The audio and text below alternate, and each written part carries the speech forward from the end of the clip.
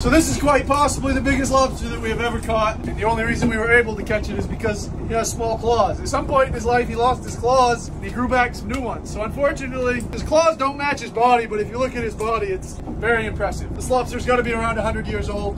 And I've said this on the page before, but it's pretty crazy to think about it. My father has very likely caught this lobster at one point in his life. So is my grandfather, and possibly my great grandfather has also caught it. It's pretty crazy to think about old lobster. They're protected in Maine for breeding. I'm gonna give him a snack. If his claws still work, the poor old bugger, he's getting old. He's got no teeth on his claws.